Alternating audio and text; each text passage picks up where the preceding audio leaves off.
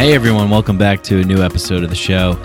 I'm Mike Brancatelli. This is Micadelic, and today we have a great guest. We have Rafael Lancelotta on the show. Rafael was a part of the 100th episode of this show, the the after panel discussion at the Good Cinema uh, event from Neurons to Nirvana. Um, and he, he was so great on that episode. I was like, man, I got to talk to this guy more.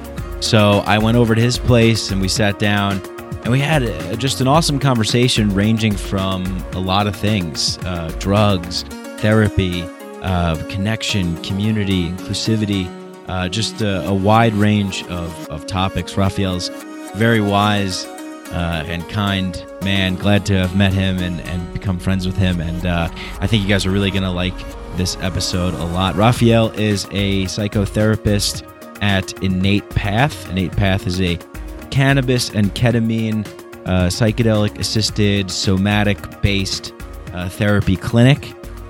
He is also the founder and administrator of Five Hive, the 5-MeO DMT uh, forum that is uh, not on Facebook. You know, it's its own thing, and I, I think that's really good. People are having really interesting discussions there, talking about all things related to 5-MeO DMT. So we talk about that too. We talk about uh, his work at Innate Path. We talk about the papers that he's published, the research papers. We talk about uh, 5-MeO DMT, ketamine, cannabis, psychotherapy. Like I said, really, we, we cover a lot of ground here, and it's a really, uh, really nice conversation. Some quick business before we get to the, the show. Uh, if you like this show, please show your support. You know, this podcast uh, has been a passion project of mine. I've sort of treated it like um, you know, just just wanted to keep it really raw and true and authentic. As I sort of grow, I have to start thinking about ways to monetize it and things like that. Um, so I, I, I have a couple sponsors right now. We have Hemp Bombs, we have Synchro, and we have Psychedelics today, uh, and they're all you know sponsors that I believe in, and and that's why they're there. Uh, so you can get all of that information in the show description and the show notes. There's uh, you know coupon codes and things like that. Navigating Psychedelics is the course by Psychedelics Today. Hemp Bombs is all the hemp derived CBD uh, products that you can get, and they'll ship to anywhere in the US. And uh, and Synchro has plant based and ketogenic nutrition products. So all those coupon codes and links are in the show notes and the show description. So check that out. It's all the way at the bottom. Um, but really, the the my favorite way of getting support for this show is just if you like this show, just share it, tell your friends about it, subscribe to it. Make sure you're subscribed on Apple Podcasts, Spotify, wherever you listen to podcasts. Shows also on YouTube. Uh, if you want to go a step further, you can leave a, a five star rating for the show on Apple Podcasts. That really helps out a lot. We have 155 right now, and it's just amazing. If you want to go a step further, you could even leave a review. You can write something nice. I always enjoy those. Uh, and I love connecting with people. So if you have feedback for the show, if you have questions, if you have ideas for guests, if you have any kind of work that you want me to promote, whether it's music or art or anything like that, contact me. I, I love this uh, as a collaborative effort. So message me on Instagram, Micadelic underscore podcast, or Facebook, uh, Mike Brancatelli or Micadelic podcast. And uh, you can go to my website. There's a contact form in the contact tab at the top. Send me an email, and I usually respond pretty um, quickly to those. So I love I love speaking with you guys. So reach out, let me know what you like, what you don't like, what you want to see, if you, you know, whatever. Um, and then if you want to go a step further in your support, we have a Patreon page. You can become a patron of this show for as little as $1 a month, $2 a month, $3 a month, $5, $10, $100, $1,000, $10,000, a million, whatever you want to contribute. I know you know that fiat currency sitting in your pocket those federal reserve notes are just annoying the hell out of you so just get rid of them throw them my way uh, but it really, it really helps, uh, you know, keep this show going. It helps me get new equipment, new software, uh, studio space, things like that. I want to make the show better. And if you like the show, show your support. Go to patreon.com slash Mike Brank. By becoming a patron, you also get exclusive access to the Micadelic Inner Sanctum WhatsApp chat group. What's up to the WhatsApp chat group? Thank you to Hell uh, out there in Switzerland, one of my biggest supporters uh, Zach, Ben, uh, John, um, all all of the wonderful people. I always I always like forget because I'm going off the top of my head here, but all of you people in the Inner Sanctum WhatsApp chat group, I love it. The my favorite thing about this group is that it's people from all around the world coming together, and uh, it's a little community there. You know, sharing their stories, uh, trip reports, advice, questions, new you know articles that are coming out, things like that. So check that out. Okay. Uh, without further ado, let's get into this conversation. It's a great one. I hope you guys really enjoy this and uh, and listen to the whole thing. So it's about uh, two hours long, but you guys are used to that from this show. So uh, without further ado, Rafael Lancelotta, everybody. Thanks. Psychedelics are illegal not because a loving government is concerned that you may jump out of a third story window. Psychedelics are illegal because they dissolve opinion structures and culturally laid down models of behavior and information processing. They open to us the possibility that everything we know is wrong. We don't need new laws that control our consciousness and rigidly place it in a prison. Cognitive liberty the fact that as adults, if we're not hurting anybody else, we should have the right to explore the contours of our own consciousness without any mediation or legislation on the part of somebody else. Reject authority. Authority is a lie. Or is it perception? Information is power, but we have to seize, seize the opportunity. The opportunity. The opportunity.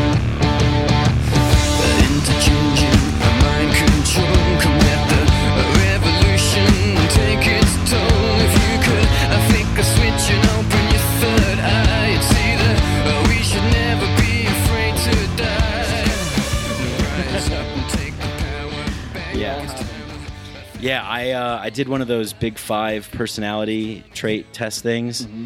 Uh, it's really strange. I feel like I'm well, my interpretation of my own test is strange because I score like 98% in openness, like 70% in neuroticism, and then like 11% in conscientiousness.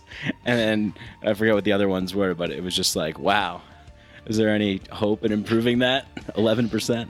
Totally. There's yeah. always I mean, the first the first step is having awareness of it, and then the more we have awareness, then we have some choice to change. Yeah, totally. Is that is that what everything's about? Is just like having awareness and having and knowing, having awareness, creating space, seeing that, and then knowing that you have a choice to make. I think so. I think I think that as we have more capacity to start paying attention to what's happening, then the choices become more apparent, right? I think I think oftentimes we're not aware there even is a choice.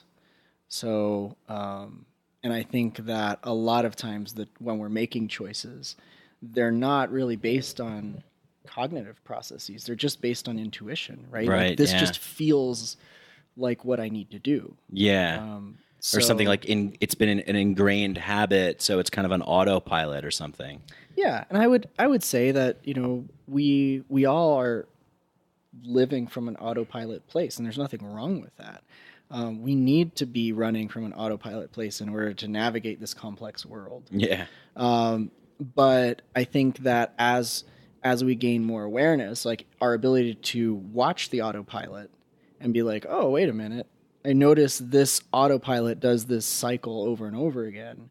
The more we are able to pay attention to it and notice like what what leads the autopilot down that road, then you know more choice becomes apparent, and then maybe the autopilot adjusts itself. Right. Yeah. The knowing about the thinker that watches the observer that watches the thinker that's watching the other observer or something like maybe it's not, not that complex but. Yeah i think just just not having to think so much about it. Yeah. Um, and i think that that if we feel about it I, I, like to use the word like feel about it instead of thinking about it. Mm. i think if we feel about it then that's where we get start getting more in touch with the intuition and and emotion and I think those things can guide us a little bit better sometimes than our logical minds. Yeah. Do you think that the logical mind has uh, really taken over, taken the stage, center stage, become the, the prime player in the show? I think so. I mean, if we look at our society, if we look at Western culture, it's based off of uh, highly logical, rational structures, right? I mean, um, you know, our entire system of government is based on logical arguments uh, that either represent people or represent organizations and so on.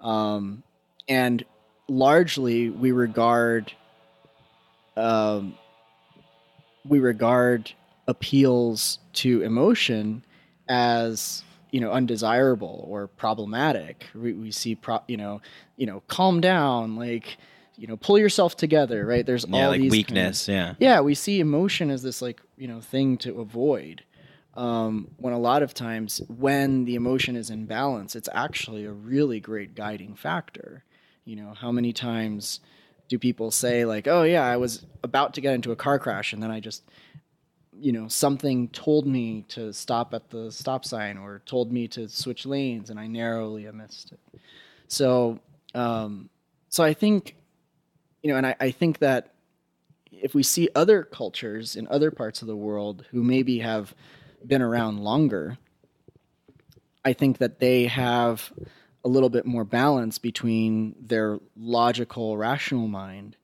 and their feeling, their emotion, their, you know, we look at, um, you know, you've you've talked about going down to, to South America and, and Yeah. spending time with tribes down there. You know, they have this really balanced. I, my impression is they have this really balanced approach to what is mystery and what is um, what is known and how to follow the heart. And I think so much so much heart is brought into those cultures.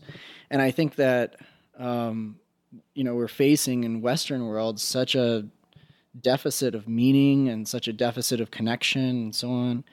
Um, you know, I think that if we can learn what are the things that are getting in the way and kind of inhibiting heart connection and inhibiting presence, um, then I think we'll start to see a shift in in our culture. Oh yeah, definitely. I mean, the the I was with the Shipibo people um, down in in the Peruvian Amazon, and they just they they they have this kind of ease about life.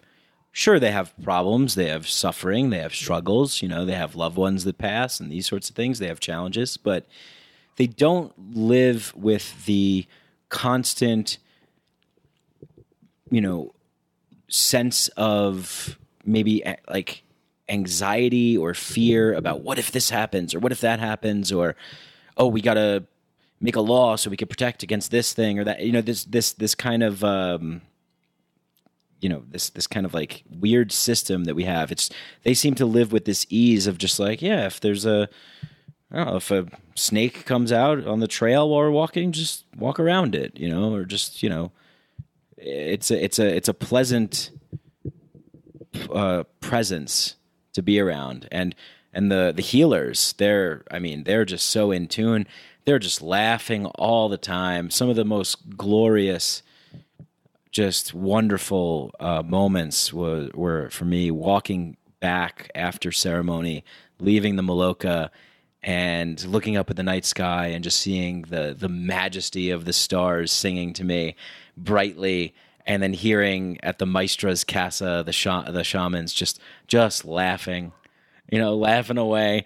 Oh did you see those uh, demons coming out of that person in ceremony or whatever they're talking about you know? But they're they're just having a great time and then you know it, it's it's really uh it's a joy and they live you know like you mentioned balance. They live in balance. They live in harmony. So you know we've been i guess we've been kind of off that track.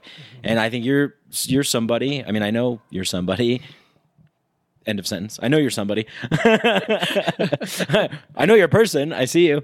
Um, i know you're somebody that that is helping bring balance back to people working with innate path. Can you can you talk a little bit about that? I know you shared that on the last podcast that we did with the panel but now we have a little bit more space. Sure.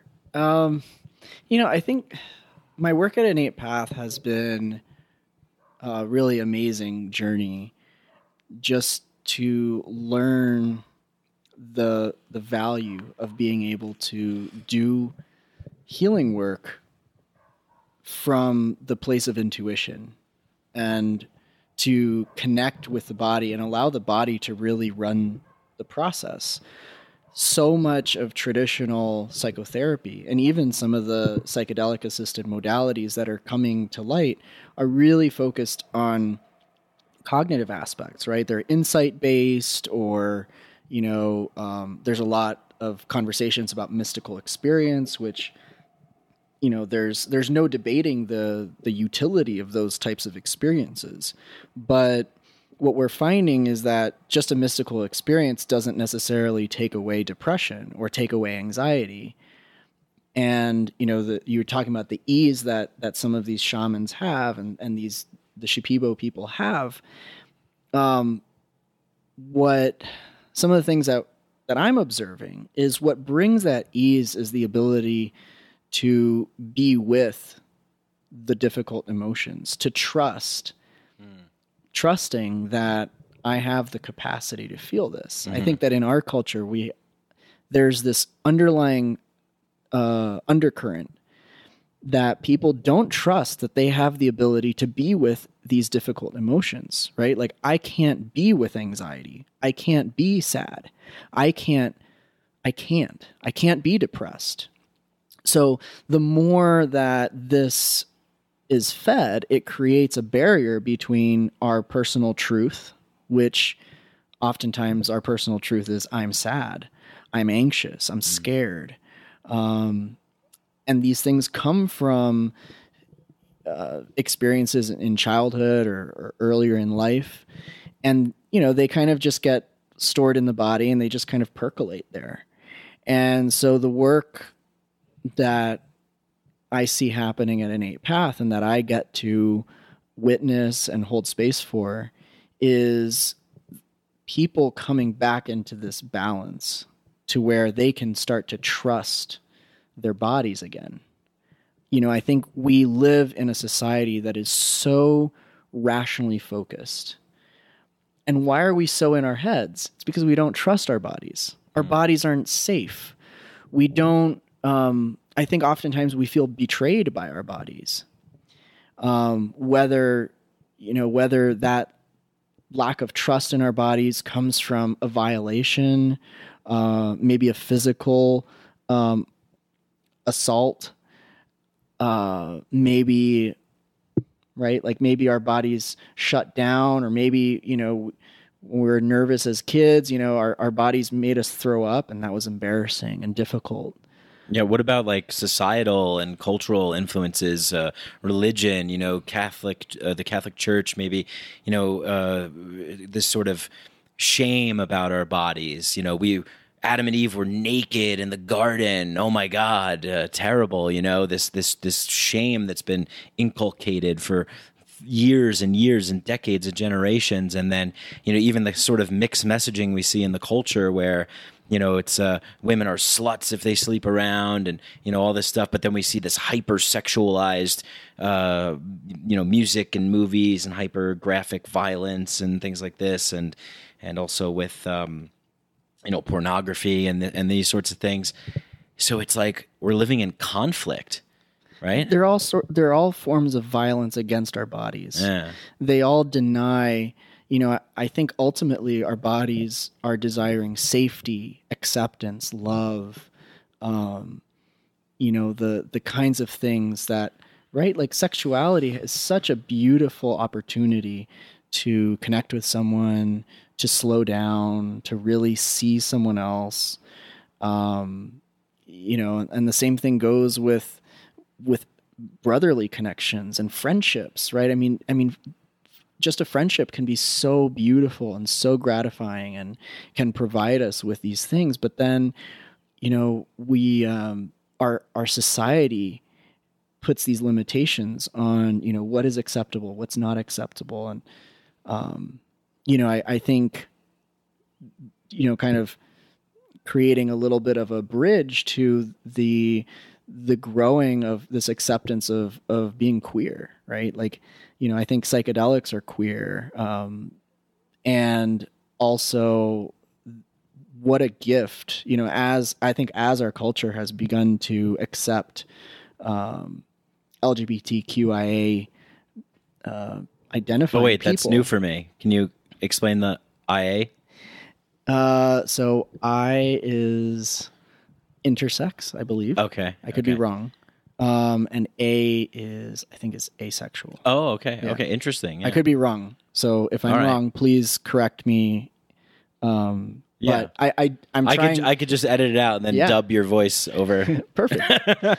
yeah, I mean, I'm just trying to be. I want to, you know, I think the idea here is right. Like we want to be as inclusive. totally. Um, and I think there's even a few more letters, right? Like, uh, so PK, right, for poly and kink. right, sure. Um, yeah. So, so right, or like maybe like D for like dominatrix or something. Yeah. Yeah. So I think, um, so I- I think that um, these there's a challenge that's happening, right? Where it's like we're challenging what it means to connect with one another. We're challenging what it means to love. We're challenging what it means to be in community. Um, and again, I think a big part of that is listening to the body. Like, what is the what is the body telling us, right? You know, for some people, um, you know, I think the bravery to say, you know, my body wants to be with this person, um, and that's not what most people think is okay. But I'm going to be true to that. Um, I think you know that's in the realm of, of sexuality but can we even go further than that and start to become friends with our emotions too Yeah. and i think that that's um, just kind of i guess to bring back around i think uh, you know the work at innate path is so much about coming back into trust and coming back into relationship and letting the body lead the way through healing. And you know we call that a bottom up approach rather than a top down right? So you have a cognitive therapy is going to be more like the idea is you know we change the way that we think and that changes the way that we feel. Um, so the bottom up is actually if we can be with the way that we feel the way that we think will naturally change Yeah, yeah, the chicken, chicken or the egg thing there. But I think you're right. Uh, the latter. You know, it's if we could change the way that we feel, then we can change the way that we think. well it's not changing the way that we feel we're giving ourselves permission to feel what's there okay, if we can uh, allow ourselves to feel what is there, then we can. Then it naturally changes the way we It think It changes the way we think. Okay, naturally, yeah. So think about just like one more thing. Yeah. Like, so rather than thinking chicken or the egg, right? Because there's a, an, an equity there. Okay, I would challenge that a bit Okay. and suggest that the emotional part of our body is much older and wiser than the rational part of our brain. right.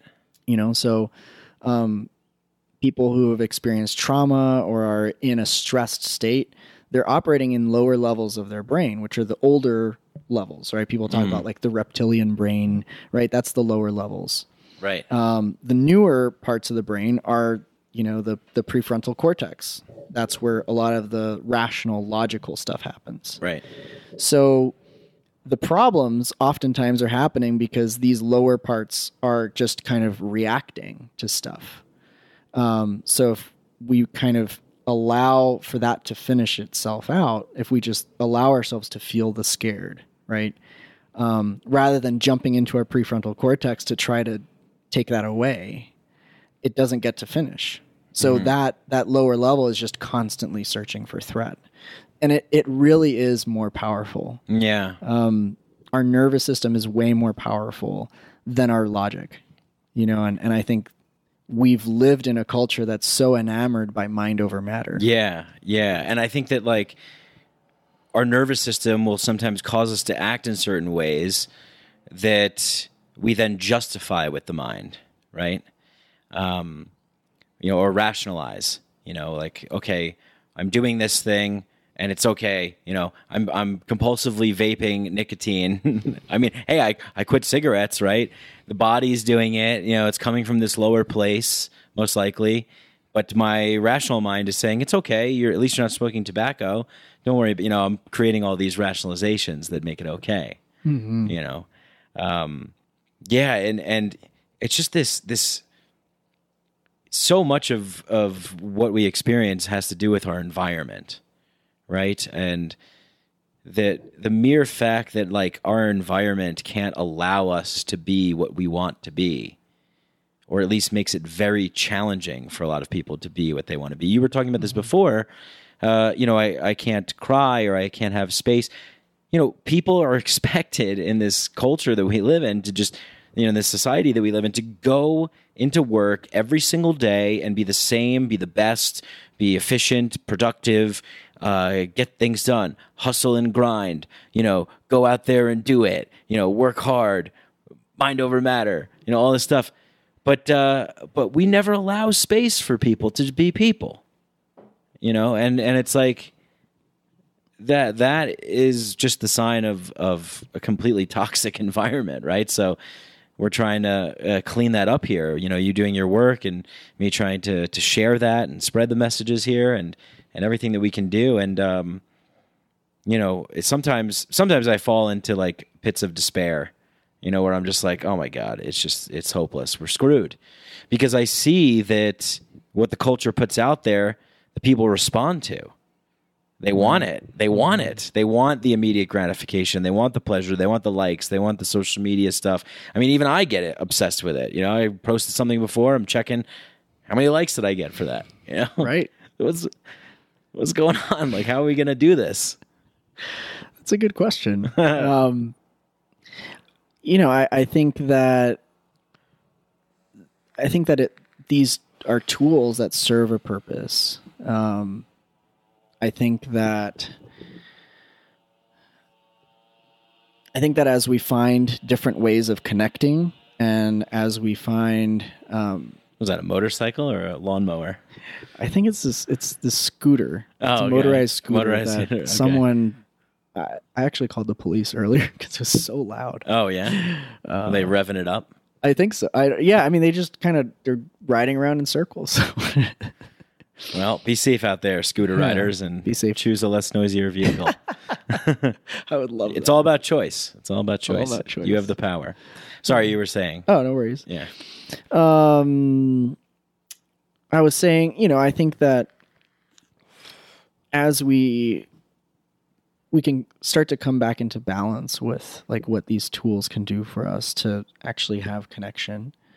Um, and I think that you know you're talking about like, well, you know, how are we going to to get past this if people are still are so enamored by the machine that we've created? Yeah. Um, and again, I think, I think that if we can start to allow uh, ourselves to find the natural pleasure that is present just through connection, through being present, um, that begins to shift our fixation on these um, these tools, right? I think, um, right, and and maybe that is a little bit of a parallel with with addiction of any kind. Mhm. Um, you know, addiction to anything, right? We find things that that fulfill a purpose that maybe we can't fulfill in any other way, or we don't know that we can fulfill in other ways. So, if um, you know, getting all the likes um, is a form of validation, right? That either we're not giving ourselves or receiving from other people.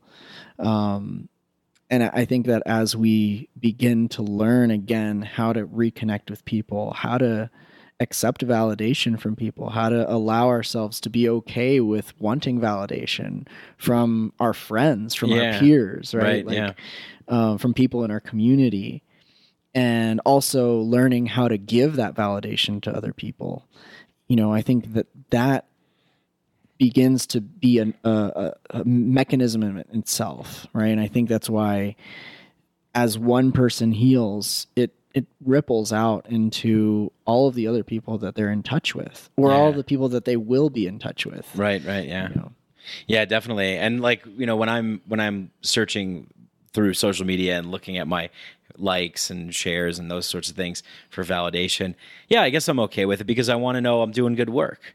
I'm not just post I'm not posting pictures of my ass, you know, not all the time, but uh, It's okay if you are though. right. Yeah, I, I guess so. Yeah, yeah, um, yeah. It's uh, it's interesting, and I just uh, I'm I, I'm thinking about what you said before about just uh, inclusivity, and I think you posted something on Instagram uh, earlier today that I was looking at about um inclusivity, uh, diversity, and, and and race and uh, privilege, and these sorts of things, and you know, I think that uh, this is a this is a really important thing. I mean, without and even I think I would argue that like everybody suffers f- some s- variation of not being allowed to be themselves and be accepted to some Sure. to some degree. You know, I, I was hanging out with uh, my friends. They're comedians, uh, two um, black comedians uh, from uh, New York, and they were out here in, in Denver performing, and they were talking about some uh, race type stuff, and I was like. I forgot how this came up, and I was like, "Well, how do you think I feel?" I was like, "You know," I was like, uh, "Oh, because we were talking about the Jersey Shore, and they're oh, they're from originally from Newark." So I'm like, "Well, how do you think I feel?" I was like, "Man, I, I when I, I never wanted to be associated with Italian people, you know, just because of that stigma of like, hey, the mafia, forget about it, you know, that sort of thing." And I just didn't want that. So like I kind of I like I lied actually when I was a kid. I told people I was part Irish and uh, and Native American as well. I pulled an Elizabeth Warren. Yeah. Uh, but but yeah, it was. It's like I I have from my, in my life I can remember so many times being afraid to be myself, being afraid to speak the truth, uh, of- out of fear of of ridicule, judgment, criticism, uh, hatred. You know these sorts of things. Uh, yet I'm you know I'm a straight white male, so it's like you know my voice. Unfortunately, you know right now it's like not the top priority to be heard, and I understand that, and that's fine. But uh, it's just everybody has their story, you know. So we can all, if we can open up, I think if people who are privileged can open up to this and say, well, okay, sure, like be honest with yourself. you've felt this to some degree, and uh, hey, slow down, Suzuki. Sorry, guys. Um, you know, if you can open up to some degree and be honest with yourself about acknowledging those times in your life, then surely you can have acceptance for other people who are not in your, uh, you know, that you're not aware of or, you know, that you may not have come in contact with. definitely Yeah. and I, I think you know coming to the the topic of privilege um you know I, I think the most important thing that we can do as people in positions of privilege. Number one is to acknowledge the privilege that's there. Um, number two is to spend time listening to people to the voices that don't are not privileged right? Like can we listen to um, podcasts that are predominantly african american or you know predominantly latino? Can we listen to those podcasts and like un- get a better understanding of what kinds of difficulties are these individuals experiencing? And then how can i help those people? You know with the you know right like if we acknowledge the privilege that we have like how can how can we say um well let's put this person on stage? How do we give this person an equal voice? Um and i think create solidarity once again uh, in our culture and you know i think um, the ability to acknowledge what the unfairness that's happened in the past, the unfairness that continues to happen, and a genuine desire to be an agent of change. And, you know, I love the term ally in that. Um, how can we be allies to to everyone that um, you know I- and and it's not to say that you know just because we have privilege doesn't mean that we don't experience um, oppression right i think uh, i think everybody experiences different levels of that right like Oh yeah, you sure, know, yeah. men have their kinds of oppression right don't cry you can't have Right. emotions Yeah, right? don't be a pussy, man up. Yeah, right there's there's all kinds of things that men go through women go through all kinds of things and you know um you know and so there's that doesn't dis you know us acknowledging privilege doesn't discount the difficulties that people have had, but there are truly people who have experienced systematic oppression for Right. years Oh, and yeah. years and years. And I think that that's where, you know, I think, you know, you saw that thing on, on Instagram and I think, um,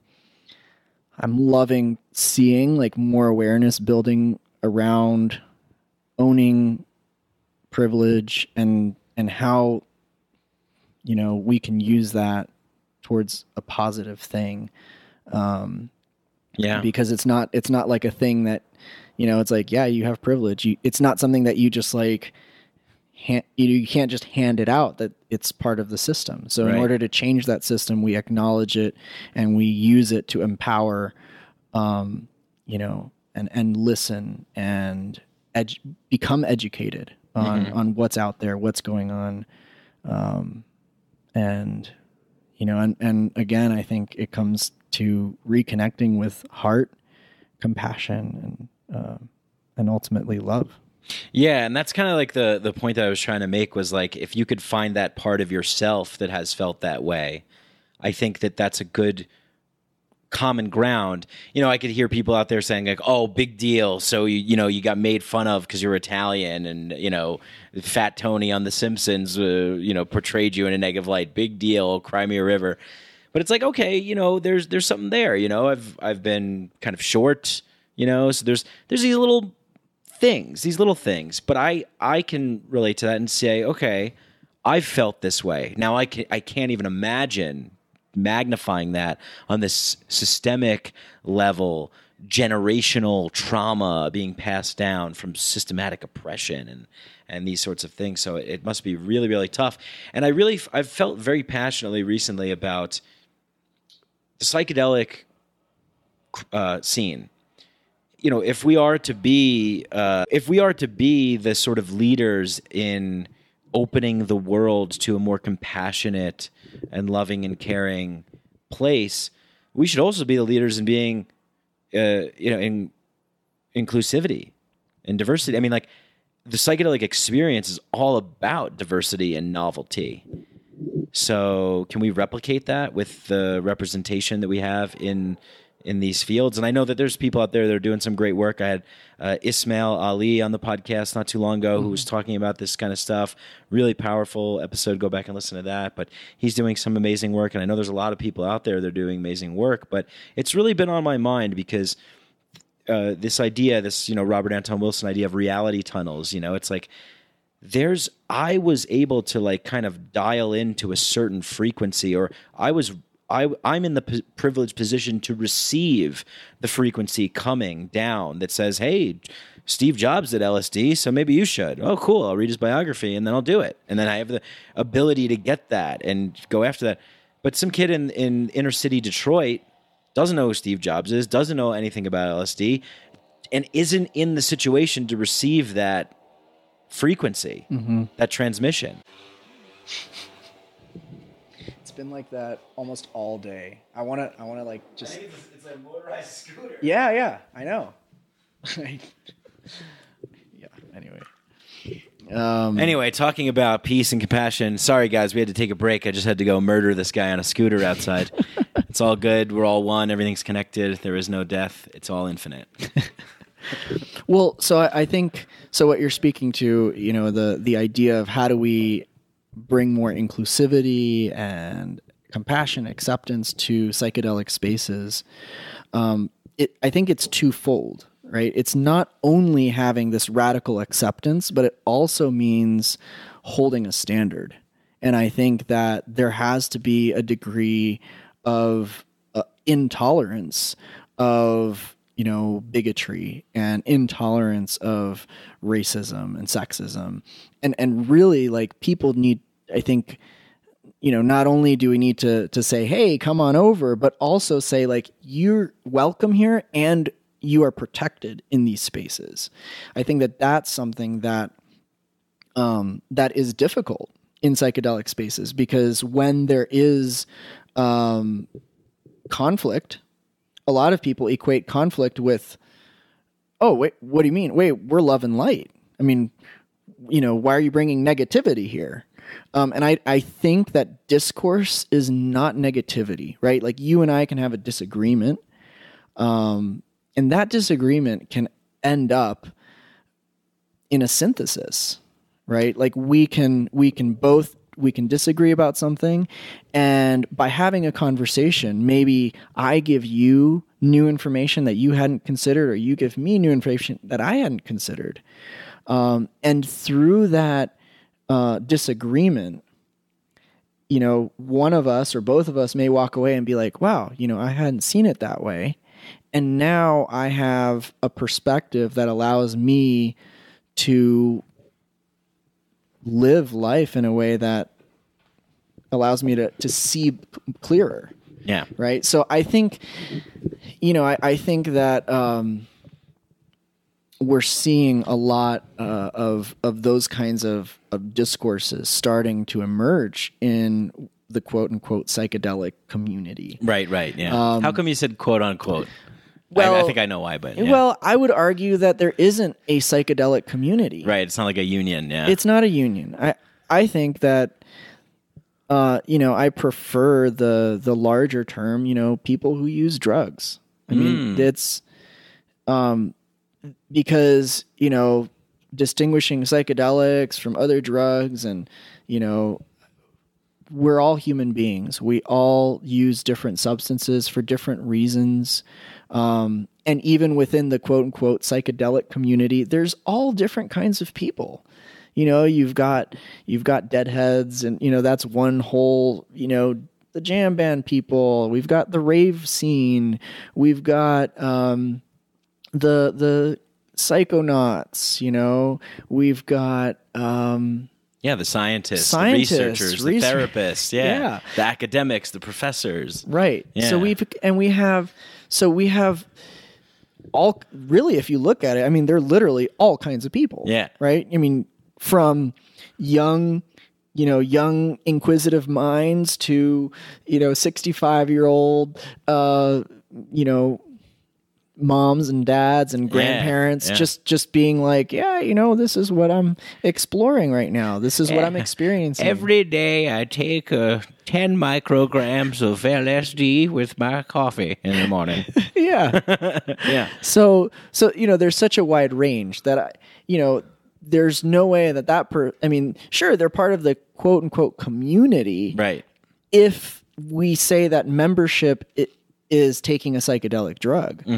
But there's no difference from that person who's taking a psychedelic drug for, you know, with their morning coffee and, you know, someone else who does whatever, I don't know. Uh you know, Sniffs coke. sniffs cocaine or um, uses nitrous or does heroin or uses methamphetamine or uses Adderall. I mean, these are all we're all human beings. We're all we all use drugs, um, and so I mean, I think just getting away from stigma in general of drug use. Um, you know, we know that some drugs are more harmful than others, um, but you know, if you look at the scale of harmful drugs, alcohol is number one. Yeah. So um, And it's the most promoted and encouraged. it's the most. It's legal. It's everywhere. You can get on every street corner. Um, so, so yeah. I mean, I think I think if I, I when I think of you know the the psychedelic community, um, you know, it it's helpful. I think to maybe start to find more specific terms. Like, are we talking about um, people who are activists who use psychedelics? Are we talking about people who are engaged in the conversation around psychedelics being a part of the Western culture? Right, right. I think that when we start to say those things, then we start to be more clear on what we're talking about sure. and then membership becomes clearer, right? Like, oh, this is a group of people who are all um, wanting to have a certain type of conversation. Right, right. Yeah. And then we can start to be like, oh, okay, well, that would include researchers, that would include activists, that would include students, um, you know, academics. And now more and more is starting to thankfully and hopefully include more marginalized voices the voices of women, the voices of people of color, um, and Latino voices, and and you know indigenous voices. All of those um, voices that have not been heard and by a field that has been dominated by the privileged white male uh, middle-aged man stereotype Yeah. um, you know, I I think so. Anyway, kind of a, a soapbox on on what the culture is, but I think, uh, or what the community is. Yeah, no, good. Thanks for sharing that. Because in my mind, when I'm saying the community, I guess I'm I'm referring to the like the people with the most resources and the sort of leaders in the field. You know, but uh, that helps to kind of clarify. I'm gonna think about maybe starting to use different terms for that because that you're right. I mean, you know, there's there's people I talk to people who they're like, "Oh, you do podcasts on psychedelics? Yeah, man, I trip on mushrooms sometimes. Shit's crazy." That's it. Nothing further than that. So it's like, Right? Are they in? Are they, are they in the quote unquote community? right? Yeah. I mean, Are they adding to the conversation, or are they people who use mushrooms? Yeah. Um, which are some people may argue yes they are part of the community right they use mushrooms uh, so yeah it it's it's helpful to to start to put together this idea of you know who are the members who's not um, Are the entities involved? Are they in the community? well it What do they have to it, say? it depends on on how you define entities Uh, beings, um, apparitions, visions, uh, things I guess that you would uh, be discussing in uh, your uh, 5MEO uh, blog, uh, 5 Hive, those sorts of things. Well, it, you know, it's really interesting that you know with 5-MeO DMT, there's there's not really reports of entities. Ah, right. Yeah. Yes, that's the that's the. Uh, I, I've never done uh, five MEO. Um, I recently spoke to someone that did, and um, they I forgot they told me they said uh, it was just like uh, a void. Um, but uh, but yeah, uh, maybe maybe we could transition to that because I know you run this uh, website, uh, Five Hive, and um, as someone who's had I've had tons of ayahuasca experiences and mushroom experiences, um, you know, several other kinds of experiences, LSD and MDMA and ketamine, and I don't know, I'm leaving a couple things out, but I have not smoked or vaped 5-MeO DMT. DMT. So uh, maybe we could talk about this, the 5 Hive, the 5-MeO DMT. This seems to be something that's kind of coming up more and more. I hear people say, "Yeah, I did Toad or doing Toad," that sort of thing. Um, so this is this is kind of new to me. I'm, I'm sure people would probably be interested in learning about this. Um, so yeah, what is it? Well, um, yeah, I mean, I guess I'll start by saying, you know, the the Five Hive is uh, an online forum dedicated to commu- creating community and dialogue around 5-MeO DMT, uh, just creating a, a source of unbiased information where people can share personal experiences, listen to what other people's experiences have been, um, find various opinions on ways of using it, uh, talk about what are things that can be done to ensure safety if someone is planning on using something like You're supposed that. to tase people, right? That's what. no. Oh no, Definitely not Oh, okay, all right. no, I've, of course I'm kidding. I saw uh, David uh, Nichols uh, Mm-hmm. posted this article the other day about some like traveling toad shaman Yeah. who's tasing people to Yeah. what is going on with this? So, uh, as so in the last, let's say, three or four years, there's been um, a, a mainly it's kind of started with uh, this man Octavio Rettig. He kind of experienced uh, the toad smoking the toad venom or bufotoxin, um, and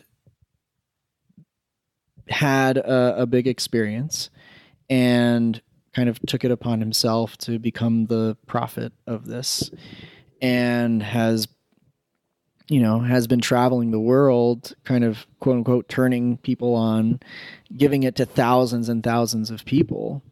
Um, without a lot of care to you know their safety during the session any form of integration afterwards. Um, and you know mo- more recently uh, you know in addition to him there was another practitioner gerry sandoval um, who so both of them were recently called out in an open letter um, that was signed by uh, researchers, practitioners, community members, um, basically protesting their the the ways that they're uh, approaching that work. Um, you know, there have been so many accounts of unethical practices, whether it's using a taser or pouring water down people's throats, um, kicking people, uh, you know, being verbally abusive. There, you know, there's videos of, of this happening. Yeah, and I've also heard of somebody else, Martin Ball, I think Mhm. is his name, um, who for, for, someone was telling me that they had an experience with them, and he's kind of shouting at them and and these sorts of things. So is this this isn't something that is influenced by the experience of of 5-MeO DMT is it i mean or what is what's going on with this why are these practices happening like this It's a good question. I- think that it's because their per, their point of view is that they need to make something happen for for people. Um, they're trying to elicit a very specific kind of experience. So it's kind of like, um, rather than allowing the experience to be whatever it is. Um, you know, I think uh, in the work that I do as a, therapist working with altered states and medicine assisted sessions, whatever comes up for my clients is perfect the way that it is. It's part of their process. Um, and what's fascinating is that, you know, not one session is like the other. Very different things happen in one session to another. And when you allow for whatever's there to happen, it actually doesn't make too much of a difference what medicine people are using. So um, I think, you know, with what they're doing is, I think, modeled after the understanding of psychedelics that has been that has happened in the past, right? If you've read um, the psychedelic experience, which was you're familiar with it, Mhm, yeah, you know, the Timothy Leary, yeah ralph metzner Ralph Yeah. Metzner uh, book modeled after the Tibetan Book of the Dead, right? Mm-hmm. So the whole premise of that book is not, you know, have whatever experience you're going to have. The the purpose of that book is to give you a very specific kind of experience, which for them it was like this is the purpose of LSD or this is the purpose of psychedelics, right? Is to have this experience. right right So I think the same thing has happened with 5-MeO DMT, where, um, you know, th- it has an ability to give a certain type of experience, and there's this assumption that you have to have that kind of experience in order for it to be valuable or useful. So there's this, uh, there's an enamored quality or, or you know, an obsession with having the quote unquote breakthrough experience. Right. Yeah. See, actually, just if I could Sure, chime in for a second, I just this is kind of why I uh, I haven't had these experiences because I knew that I I should not be desiring the peak experience, so to speak. You know, so my the way that I've gone about it has been well, if it comes into my situation and I feel ready, and there's a call or there's something I feel ready to receive it, then I'll partake. But uh, after a series of uh, several months of going in heavy with large mushroom ceremonies, I had a mushroom experience. It was like, dude, what are you doing?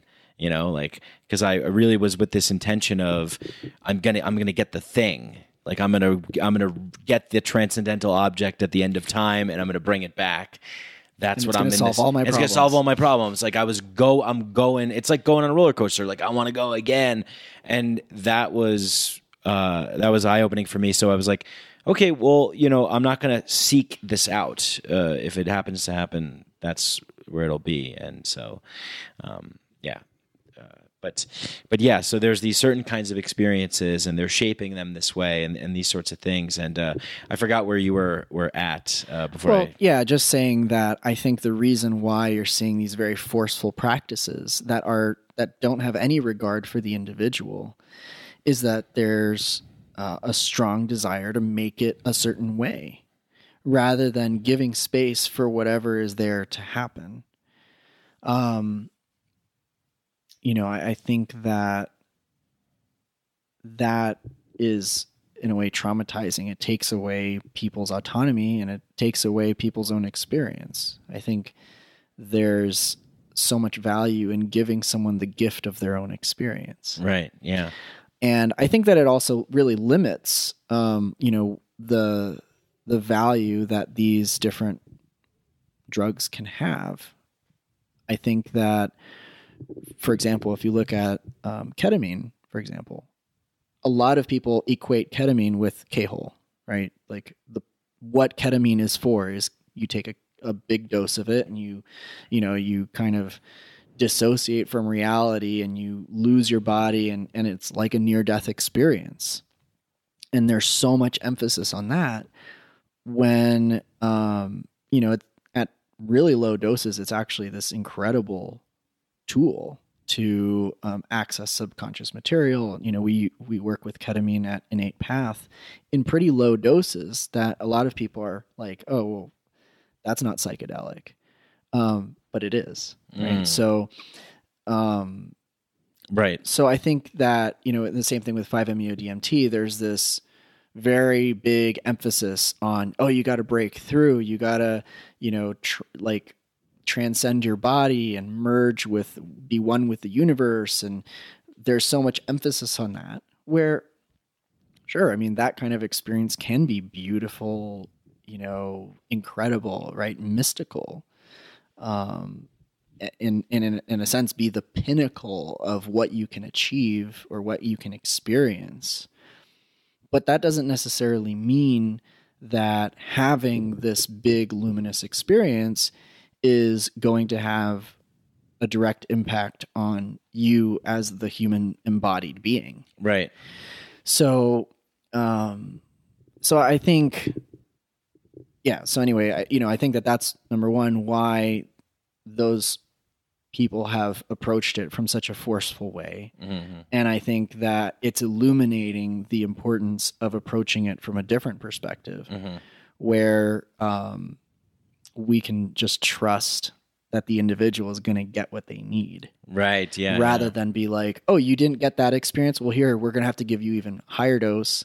Oh, you d- you still didn't get the experience. Let's give you even more, right? And they just keep upping, upping, upping, upping. And So Right. you have people, you know, smoking absurd overdoses of of this material, and you know they're still not getting the the thing that you're trying to force, right? So so you keep adding more and more things to try to force this experience. Right, and that's where you know and i think that you have people who don't have clinical training with this kind of stuff. And um, you know they they don't have uh, any kind of psychological or clinical background to understand like what are the mechanisms that may not be allowing people to have the experience that you're trying to give them or you're trying to f- actually force force them, yeah, right? Um, when the system feels traumatized, it shuts down, right? So our our nervous systems are so powerful that they can abort a trip if they feel threatened. Mm. So, um, so, and you have a lot of people coming to to experience th- this these you know substances, medicines. Um, you know, people say all the time, right? I went to drink ayahuasca and nothing happened, yeah, right? yeah, Uh, you know, I, I took mushrooms; they don't work for me. You Right. know, their system is like you're not ready for whatever this thing is going to open up for you or you don't feel safe enough to open up to what this is going to open up for you. And so that that again comes back to this wisdom that our bodies have that really is has nothing to do with your brain right? Like you can tell yourself like i feel safe. I trust this person. But if your body doesn't it's not going to go there. Right. right? So Yeah. so i think um you know again there's like this being able to come at it from a trauma informed perspective to understand like where people are at um and ultimately to to do work with people over a period of time rather than thinking that that one session is going to be the be all end all thing. Um you know i think these are all things that you know I, I think we're seeing it very uh, in stark contrast when we look at 5-meo dmt it's a huge debate and it's a huge thing that's showing up now but if you think about it and you look at other places i mean it's existed with all other psychedelics i mean Yeah. you know when lsd was first introduced into the western world there were very similar people who you know got as much lsd as they could and went and traveled and gave it to as many people as they could with this idea that you know if enough people have this transcendental experience or Right. you yeah. know, uh, mystical experience, that the world's problems will end. Yeah. Right? If we get, if everyone just gets the transcendental object at the end of time, the world will be a better place. We won't have, we won't have war. We won't have all this stuff. Mm-hmm. Yeah. The So- Ken Kesey, the Merry Pranksters, the Yeah. Electric Kool Aid Acid Test, the Brotherhood. Yep. Yeah. Yeah. Orange, orange uh, sunshine makers. Yeah. So, you know, there's, um, you know, it's great, right? Like every, a lot more people have had this experience, right? Like the Western world is at the very least aware that there's something more. But, um, you know, having these super big experiences doesn't necessarily allow for a lot of it to be integrated into here and now. Totally. That's what I was thinking when we're talking about these people going around and shocking people or throwing water on them. What are they just traveling into places, giving people toad, 5-MeO DMT, doing forcing these things and then leaving and then wh- what are these people left with? How do they Because at the end of the day, I mean, you know, I guess maybe if you're I, you could be at any stage in your psychedelic journey, but uh, for me, it was early on in my psychedelic journey when I thought it, it was all about seeing the things. It was all about the the fractals and the sacred geometry and the entity. And while that's all nice and everything, yeah, at the end of the day, we got to come back to this human existence. And then what do you do? So it's like it's not just about the fireworks show. I think maybe a lot of people get stuck on that. I I did. Um, so yeah, these people are being left with like with what? I mean, what? ha- what they're, ha- they're left with a big phenomenon. Yeah, Right. I just experienced a major event that I have no words for, no con- concept for, nothing. yeah, Um, I mean, that's a big reason why, you know, uh, I created the the Five Hive was like, okay, there. Number one, there needs to be a place, not Facebook, where people can go and talk about these things. Yeah. you know, I wanted to give people uh, a space off of Facebook where they could have conversations about this, um, and also to give people like so many people who experience ceremony or you know have a session with it and have no real community or support around it um, to be able to have a place that they could go online and be like hey i i have no idea what this was and having like a whole bunch of people being like oh yeah you know i i've experienced that you know you're not alone right. So important. Yeah. right and having you know even though it's like that's not a quote unquote normal experience right if if people more people experienced it you know at lower doses or you know in, in a different kind of environment right like they might not have these kinds of like super scary integration processes Yeah. or super paradigm shattering things where it's like now i can't function in the world Yeah. Right. That happened to me too. yeah okay so you can relate Yes, I Um, can. Yeah. you know, I think uh, that's happened with ayahuasca, right? That's happened with uh, with DMT. You know, that with in the earlier days of when ayahuasca was be, get, becoming in vogue. You know, the they created the ayahuasca forums, and that was an incredible resource for so many people who like you know went and had these big experiences and then were like oh my god i have there's no one to talk to um, you know we see the dmt nexus is another incredible uh, resource for Mhm. people who are interested in dmt and you know these kinds of, of substances Yeah. so i you know I just in- in joined another group way- too called DMT World, and they have an Yeah. app. So a little yeah i'm a little bit leery of of that. Timothy. oh yeah, how come? What's going on with there? Uh, it, it's questionable what their motives are.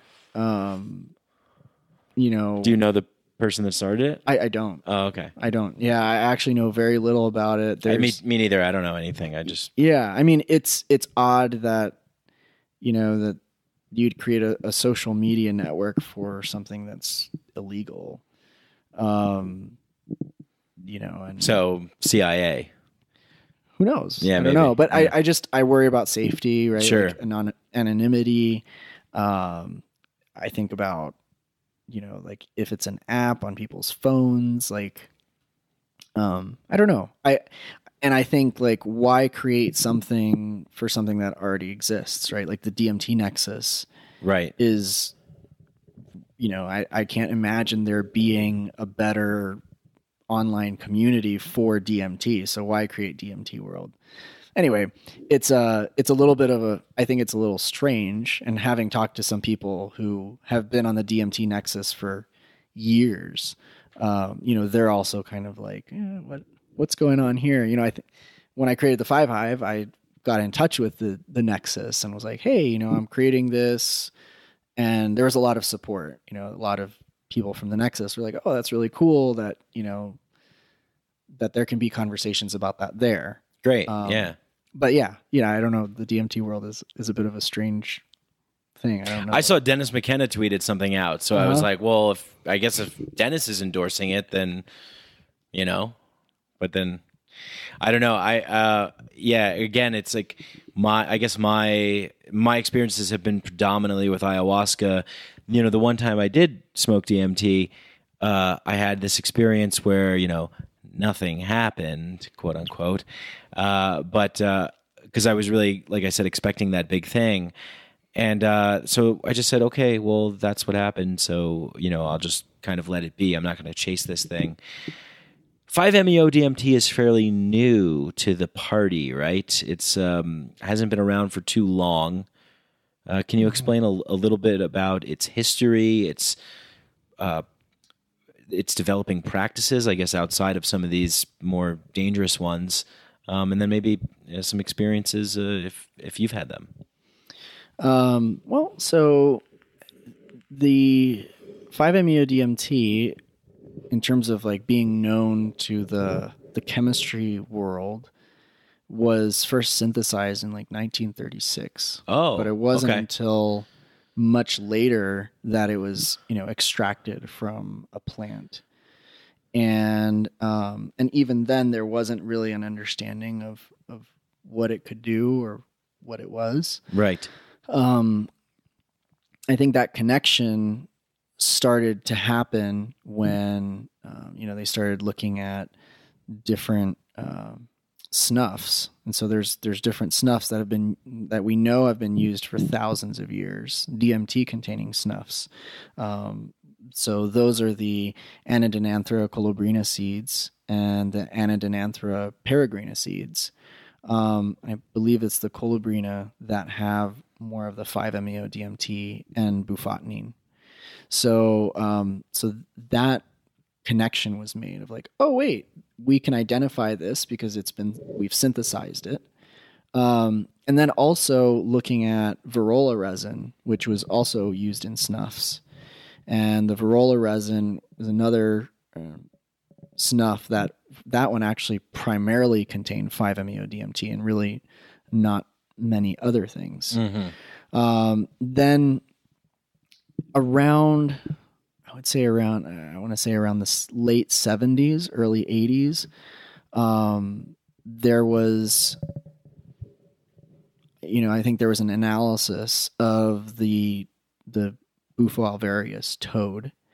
And if you look at that paper um, by Andrew Weil, and Wade Davis. Okay. They basically like got these toads, dried them out, and like analyzed the content of like the whole thing. Right? They weren't just looking at the, you know, the uh, the secretion. Right. So they found uh, many different compounds, but one of the compounds in there was 5-MeO DMT. So interesting. And I think uh, you know it's it's unclear exactly um, who was the first person to smoke uh, toad secretion, but um, you know there was a, a manual that came out. I think like mid to early 80s uh, on how to do this Mm-hmm. Right. Right. and um, so then it was kind of more of like an underground like only for the most um, experienced and seasoned psychonauts or you know hippies and um, you know there was I think I think the name of the the guy was White Dog was this person who had like a group that was that would smoke this um, Yeah, I think I remember seeing something on Hamilton's Pharmacopoeia yeah. about this. Yeah. yeah so um, so there's that and um, and then in in terms of the most recent resurgence of this Yeah. um, so uh, a group of you know the i guess a group of some hippies from california went down to mexico and they introduced you know these doctors that that we talked about earlier to the to smoking the the toad venom the toad secretion. And and it was you know majorly popularized at that point um, once they tried to create this link between you know the the act of smoking it and saying like oh this is an indigenous practice which there's no evidence for Right. Yeah. yeah. um, you know, and and that's still up for debate. But anyone that I've spoken to from that area who knows the indigenous people have said like that's never been part of their culture, never been part of their practices, um, and so th- there isn't there isn't an oral history even saying that this is something that's been used and, and with all other, you know, entheogenic medicines, I mean, there's an oral history of it, right? Like ayahuasca has an oral history, San Pedro has an oral history. The use of these uh, DMT contain- containing snuffs has an oral history. Uh, mushrooms, I mean, all of these other uh, substances, medicine, psychedelics, all have an oral history, and this this doesn't. So, um, so there's something there that's maybe a little weird. And, you know, I think that as, uh, you know, that really kind of created a big resurgence of it. In the 90s, uh, during the research chemical kind of phase in Uh-huh. the United States, Yeah. where, you know, there were a lot of chemical supply companies creating all kinds of gray area psychedelics. 5-MeO DMT was one of those. Um, that I think a lot of people, if you look back on forums, you know, people kind of going and being like, "Hey, I have this stuff, 5-MeO DMT," and people being like, "Oh yeah, it's just like DMT," and people being like, "No, this is the worst, cra- you know, scariest experience of my life," you know, just you know, just horror stories. Um, so it is a dimethyltryptamine. yeah, it's five has methoxy dimethyltryptamine. Five methoxy, right? Yeah. Um, yeah, because I think there's a lot of confusion sometimes that happens with that. People, you know, uh, DMT, 5-MeO, DMT, what's the difference? There's NN DMT, Yeah. and then 5-MeO DMT. Yeah, so it's you know five methoxy NN dimethyltryptamine. Gotcha. right? So um, the difference between them is five MEO DMT has um, a methoxy group, so there's a methyl group with an oxygen at the fifth position on the molecule. So that's really the only difference. Um, but even that slight change, you know, it changes the whole experience. Yeah, because I, I I brought up before about the entities. I I was really just trying to go for a kind of humorous transition, but uh, but there's a huge difference here. So there's the DMT experience. There's the five DM uh, five MEO DMT experience. What what's can you put it into to words? I mean, could you elicit some kind of a, a feeling? And w- when did you when did you start getting interested in this? Have you always been interested in this? When did this did, when did five MEO pique your your interest? So it, it came into interest for me, uh, I would say, about three or four, three years ago. Uh, yeah, three, about three. Um, so uh, a friend of mine, you know, was like, "Oh yeah, you know, I got some 5-MeO DMT. It's, you know, it's the holy grail of psychedelics." And, um, you know, and I, I had heard about it, but you know, I, I coming more from the the online forums world, you know, everything that you, that back then, everything that you would read about it was like people didn't find it to be very you know, they either found it to be terrifying or, you know, like that was an incredible experience, but I'll never do it again. I'm just glad I'm alive, right? like that kind of thing. Right. And so I was like, what the hell is this guy talking about? You Yeah. know, like how can how can this be the holy grail or whatever? And um you know, and so uh, you know, I did a lot of reading about it. I started like, you know, reading more stuff, you know, looking at uh, Tryptamine Palace by James Oroc and Mm-hmm. uh, reading The Toad and the Jaguar by Ralph Metzner and um, delving a little bit more into it, being like, oh, okay, maybe there is something to this. Um, and I didn't really get, uh, you know, that much deeper into it uh, until, uh, or at least, you know, into the the more like research side of things um, one of my close friends died from an overdose of 5-MeO DMT. And, um, you know, it was done really irresponsibly. You know, he had been drinking alcohol, and the person that gave it to him gave him a, a massive overdose of it.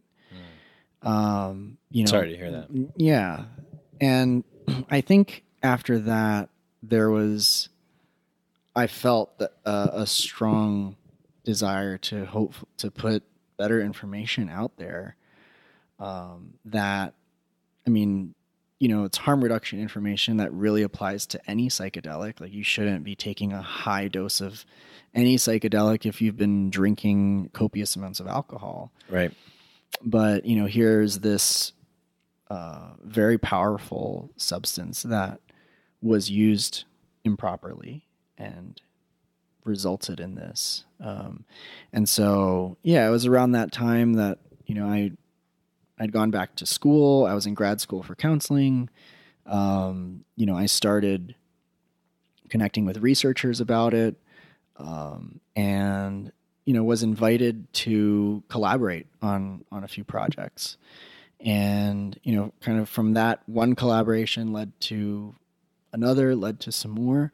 And you know i think that that kind of led down that road. And and as as i worked on more of these research projects the popularity of it was growing which i think um wasn't really related to the research. It was more related to, I mean, the popularization of it Right. Right. um, and the creating this notion again of this holy grail of psychedelics. That's how I've heard about it. Yeah. I've heard about it as this this peak experience, this rocket ship to God, this this crazy thing, and you know, even down at the ayahuasca center that I was at, you know, we'd sit around after lunch, people telling stories about things that they've done and places they've went, and talking about 5meo and and I'm just like okay it's interesting so I just keep I just keep hearing more and more about it you know and it, it is incredibly powerful. Yeah. it's a it's an incredibly powerful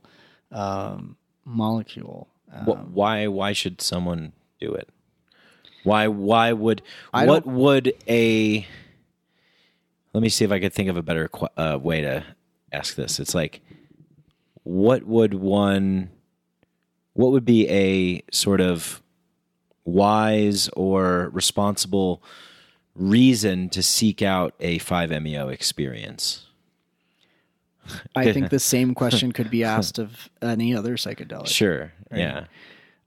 Um, you know, the way that I'm approaching it is more from a, a clinical therapeutic standpoint uh, in terms of therapeutic potential. Yeah, I've seen some good things coming out, uh, good articles being published recently. I forget what the most recent was showing. Uh, was it for depression? Was it or Yeah, so that was one of the papers that I've co-authored. oh, I should maybe that was maybe that was it. Sorry. oh, no, no problem. Yeah. Um, so yeah, so that you know those that series of of projects was led by Alan Davis out of Johns Hopkins, and um, you know looking at uh, we did a survey study looking at a, a large group of people who use have used 5-MeO DMT. Um, why 5-MeO DMT for clinical applications? Um, so in all the research that we've done on it, so we're finding that 5-MeO DMT produces uh, experiences as powerful as moderate to high doses of psilocybin. Um, it's showing that it has this, this very similar capacities for, um, you know, reducing symptoms of depression and anxiety, uh, increasing mindfulness capacity, um, doesn't have addictive patterns of use associated with it, and it has a short duration. So when you look at something like psilocybin, which has a lot of those same qualities, you're looking at having to put someone through a, a six hour long experience. right. So that that begins to become very expensive. Mm, it's it's a, a lot of resources. You're gonna have you need to have, you know, the protocol for psilocybin is you have, you know, two licensed clinicians Right. who have to be there for six hours. It's a big time investment with the the client. Um, you know, and, and it's not just one, you know, typically it's three psilocybin sessions for the, you know, the, the quote unquote treatment. Yeah. And even then, right, there's still maybe some some more therapeutic work that needs to happen afterwards. Mm-hmm. So when we're looking at 5-MeO DMT, um, there's the potential for this molecule to be experienced in a shorter period of time. So, you know, maybe a two-hour long session rather than uh, a six-hour long session. Right. Right. It's, um, you know, the the system assimilates it really easily, and um, there's a, a very quick recovery time. So you know, people kind of have their experience, and then they they come back, and you know they can, you know, not necessarily uh, drive home, but you know they can kind of go back home and go about their day. It's not like they need to stay overnight at a facility to like you know come back down or whatever. So, um, so for all those reasons, there's a lot of potential uh, for this to be much more accessible to people as a medicine for psychedelic assisted therapy compared to you know even MDMA or psilocybin, which have a longer duration of action, um, require mu- much more resources. Right. Right. So it's not to say that it it fully substitutes for those. I think that you know MDMA has its ben, you know it has its strengths, and psilocybin has its strengths. Um, and 5-MeO DMT is kind of in the middle of a lot of different things, where you know it, you know, a lot of people talk about having it having, you know, big. Um, empathic qualities, transcendent qualities, uh, ability to feel a lot in the body and process somatic stuff. Um, and so, because it has a lot of those shared qualities and it has that shorter duration, you know, it's something that may be beneficial um, as the field progresses. Yeah. So, so I guess I guess that's you know I I'm coming at it from its use as a therapeutic tool to to be as used as an adjunct to therapy. Um, you know, in terms of its use recreationally or or for spiritual exploration, um, you know, I it's that's not as much like my area of of like how I would approach it. Um, you know, again, it's a, it's an incredibly powerful experience. So uh, it's kind of the, the thing that I would say, wow, it's super important to have a support system around an experience like that, where you know people have some kind of support, some kind of plan to integrate, or you know, how is this experience going to fit in to your life, your Right. understanding of of the world and how you exist in it and those kinds of things. Yeah. So, um, yeah, I think um, my personal professional opinion, I guess you could say, would be, uh, you know, in the same way that that someone who's going to experience ayahuasca, right? It's not something that you just do on a whim, right? It's something that you really think about, you prepare for, you go into Oh yeah. with a commitment to um, to whatever's going to happen in that ceremony Yeah. and a commitment to integrating whatever comes out of that ceremony. Yeah. Yeah. And I, I think the same thing goes for something like 5-MeO DMT, which really has equal power and, and potential to, to transform people's lives for, you know, for better or for worse. Yeah, I mean, I think what you said like kind of relates back to, or I'm I'm gonna relate it back to what we were talking about before about marginalized communities and people that are uh, underrepresented, or maybe even the, people that are suffering from great traumas that could make great use out of this thing. Be so much more. Uh, it could be so much more uh, efficient and effective to uh, have this happen uh, for them rather than these eight hour long, three day mushroom ceremonies. So more accessibility, the potential for more accessibility, right? Yeah, definitely. I, I think, um, you know, one of the things that's, you know, with an innate path is that we're able to do sessions that are two hours long. Um, and that allows for, and it also allows for processing to happen in, in smaller bites, right? We don't need to have this huge six hour long experience, which then requires many weeks of integration Yeah. in order to figure it out. I mean, we in that short amount of time, the integration is kind of weaved in, and you know, and that allows for the system to over the period of a week or two weeks kind of get itself prepared to work on the next piece that's coming up. So I think you know 5-MeO DMT there's there's potential for it to be able to be used within a framework like that. Yeah. Sorry if my eyes were darting over there. I was just admiring your artwork. Oh, thank you. Yeah. Um, sitting here in Rafael's home, by the way, which is amazing, looking at his uh, Mexican patterned, um, what would you call that? Yeah, like a tapestry. tapestry yes rug. tapestry yeah in place of his non-existent television which is uh, what i have going on in my house as well and i think this is the new trend to put tapestries in place of televisions I very much support that trend. tapestries in, in place of televisions and tryptamine in place of pharmaceuticals i don't know um, which is interesting because i you know like i i uh, well i guess what i'd want to want to ask you is since you run the five hive and is it the five hive or is it just five hive five five. Okay.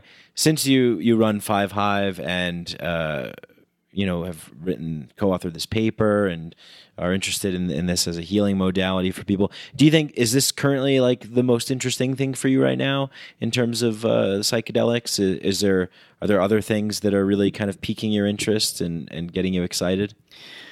Well, in terms of the the various psychedelics that can be used in therapy, I think 5-MeO DMT excites me the most for for the reasons that I described.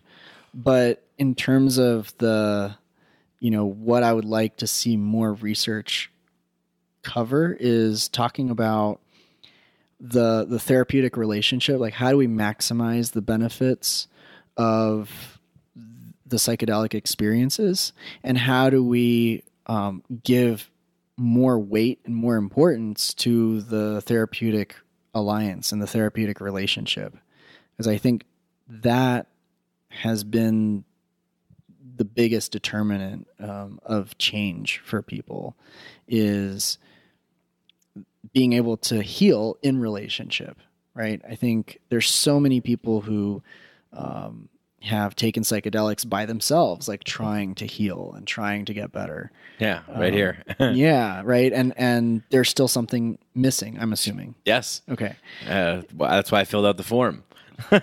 yeah. So you know so there's that there's something missing Yeah. right and and you know I- so in my work as a therapist at an Innate Path one of the things that um, is really encouraged there is for the therapists to do this work for themselves right? So working um, with therapists who are trained in that modality so that I know what it's like for my clients and that I've you know processed through my stuff and what I noticed about this modality compared to, you know, taking psychedelics by yourself, trying to heal or or going to ceremonies or something like that, is that the presence of another person that's there with you and is um, you know, developing relationship, is witnessing all the things that are there and that are present and that need to be felt it completely changes the experience like having another nervous system there Mm, mm. right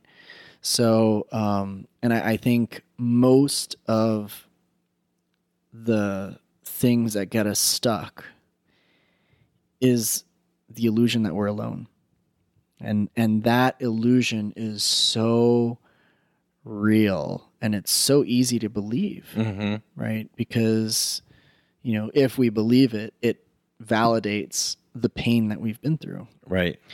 So, um, so yeah, I mean, I, I think the, the thing that's really like, uh, gets me feeling passionate is just how can we educate more on the use of psychedelics in therapeutic settings, the use of psychedelics in relationship, and putting emphasis back on the human connection and less on the drug, right? I mean, we already know that uh, psychedelics, you know, increase neural connections and, um, you know, encourage the brain to grow and, you know, have all kinds of physiological effects that are really good for depression, really good for anxiety, really good for, um, for perspective on life.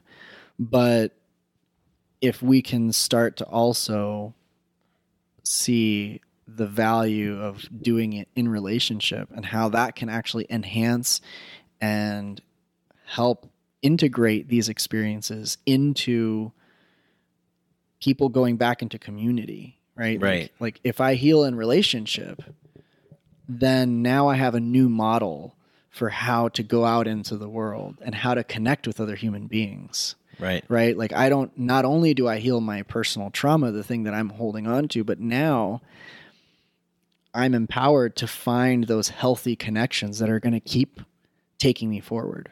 Right. Yeah. And then that's, I mean, that's everything. I mean, that's how we start building a, a better world. Yeah. You know, it's And- like that these, these people that are seeking, you know, healing can't do it in a vacuum because we don't live in a vacuum. Yeah, And we don't- we psychedelics don't, exist in a vacuum. Yeah, we don't get wounded alone. We get wounded in relationship. We have to heal in relationship. And um and so, you know, and uh one of if you look at indigenous cultures who use these uh, substances, these medicines, they they're in community. They have community. They get it Mhm. right? Like they're not, you know, maybe for an initiation, right? They'll send the someone into the jungle by themselves, and they have to, you know, drink the medicine, and right, Yeah. they go through their initiation, but they come right back Live to the, a, a, hut. yeah, they little come right back to the tribe, right? Right. Right. You know, and the tribe is like, we know what you went through. Come on back. Yeah. Like you're part of us, right? Like, Hero's journey. right, Yeah. right. Come on home. Yeah. um right like that's we don't really have that here right so we we live in a more individualistic society and you know, and I think that we have to start creating that you know community support, right? Yeah. Like that that we are. we here. have to do it. Yeah, because yeah. it's not happening from the, it's not going to come from the top down it's not going to be handed to us by the the, the power establishment sure, and it and- typically and- hasn't been throughout our history yeah. Yeah, and in terms of like time and energy for healing, right?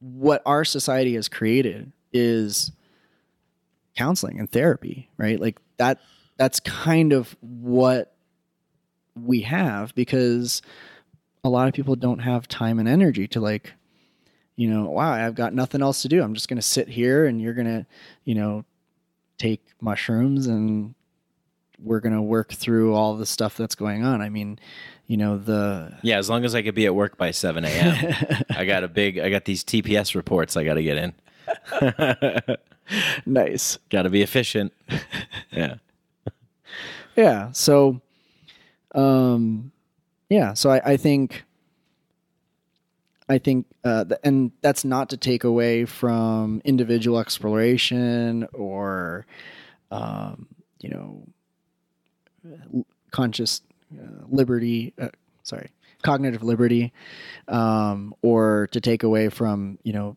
people being able to make decisions about what they want to do. But in, if we're talking specifically about healing applications, right? Um, healing deep trauma. Those are the kinds of things that I'm I'm super fascinated by and really passionate about. And um, you know, and again, I'm not trying to to diminish or take away from valuable experiences that people may have had in recreational settings or in their living room or whatever. Um, but just to say that that you know, do, going to those really deep places with someone who has clinical training, has experience working with those things, um, really creates a safe and reliable container that allows for it to be integrated. It's yeah. I mean, I, I I've done it both ways, and uh, with somebody who's trained and, and who's uh, well prepared to hold that space. You, it's like every fear, anxiety, it just kind of melts away. You know that you can let go and be accepted and and be held to a certain extent. And it's there's no there's no greater feeling than that than having that bond too, because that's that's that's building that's building human connection, and that's what we need. That's what we desperately need. We're so disconnected. That's where a lot of these problems come from. And uh, you know, I it's my understanding that the people that I was down living in the Amazon with the Shipibo, like they don't necessarily have in their culture the distinction between depression, anxiety, uh, paranoia, these different sorts of labels that we put on fear, which it's just a manifestation, prolonged, consistent, persistent, you know, chronic forms of of fear manifesting in different ways for people. Because we're trying to you know we're we're trying to fit in to this rat park sort of scenario that we've got you know uh, this guy like a lot Christopher Ryan uh, talks about how you know it's like look we live in a zoo. He's like but but you know right now because of the time that we live in we can actually work to choose what kind of zoo we live in. We can live in the san diego zoo which is beautiful. And you know i personally would not like to live in a zoo. I want to abolish the zoo break free and get out and be in the wild again. I don't know if that's necessarily realistic or not but or we could or we could live in the calcutta zoo which is awful and you know uh, so yeah, it's just uh, I, I constantly think about this, and I, I I think about this, you know, trying to adjust to this framework that we currently have versus also trying to build a new framework. Uh, I think it's a little bit of both, right? Um, you know, I know we we see a lot of kind of like psychedelics in uh, different media outlets, uh, stories being published about Silicon Valley microdosers and this whole thing. And I'd like to know how you, how you, what you think about that. In and what I kind of think is like, well, we're not trying to take psychedelics so we could be and obviously I'm speaking for everyone, but I, I don't mean to. I'm just my in my view, it's like, well, I don't necessarily think psychedelics uh, are the the point isn't to take them to be more efficient, productive, conformist, obedient workers to get work done and build apps and more technologies that will bring us to some place. Where are we going? What are we doing? What are, what are we building this for? What about the whole paradigm shift? You know, building a new model that's one of reciprocity and sustainability and connection and the things that we all. It's pretty simple. Eat, sleep, be in relationship, love, be loved. Uh, do we need more? Maybe we don't need it, but we definitely do like to have guitars and bicycles and podcasts. So, you know, what's what's your take on on this sort of um, commodification, I guess, of psychedelics? Uh, that's I don't know if Well- that'd be so accurate to say, but something along those lines. Yeah, I mean, so one of my friends, uh, David Nichols. Well, you, you actually mentioned him earlier. Yeah, Uh, love to get him on the podcast. By the way, yeah, I, yeah, I'll be happy to connect you to. awesome. Um, I was actually talking to him earlier today.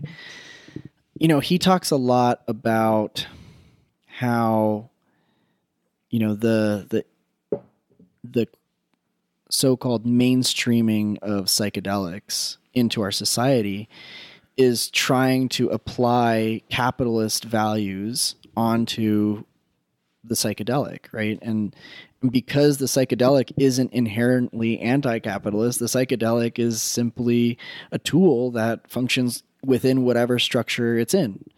So uh, when we, you know, we see we're trying to integrate it into capitalism, you know, you're going to see people trying to use it to uh, enhance productivity, you know, more creativity. I mean, you hear about Google employees, you know, taking LSD, even not just in microdoses, but you know, full doses, trying to come up with new ideas. Like, how do we program a new thing, and how do we Yeah, new ways to mine your data. Yeah, new ways to mine your data, right? so, um, so, and to be fair, I mean, th- these kinds of things have been happening in every culture. sure.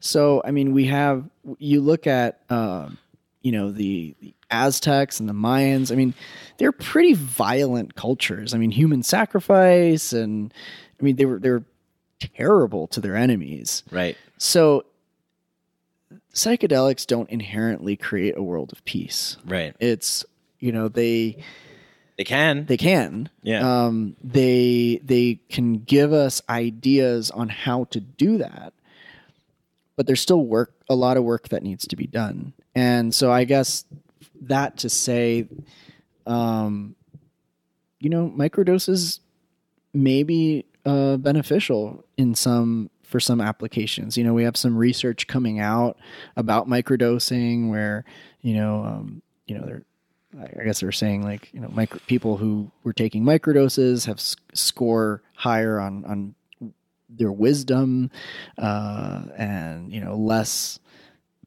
you know maybe some less neurotic traits or something like that. And so you know there may be utility for it. I I think it, it probably won't be something that's may not be super useful as like a prescription like take lsd once every three days or something Mhm. um Side effects may include you're gonna you want to quit this fucking job.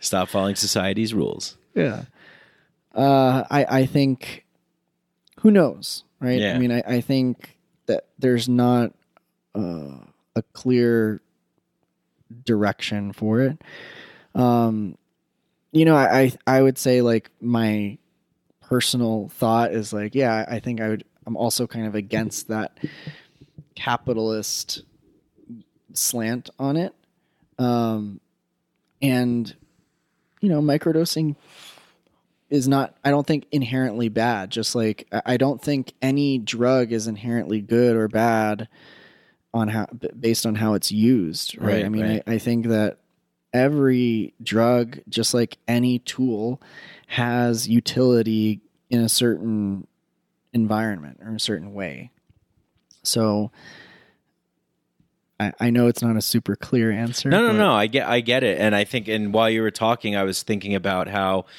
my journey was one of like I was doing stand up comedy in New York. I started getting into libertarian philosophy, uh, quickly became an anarchist, and had a very militant, fuck the government, burn it all down, abolish everything approach.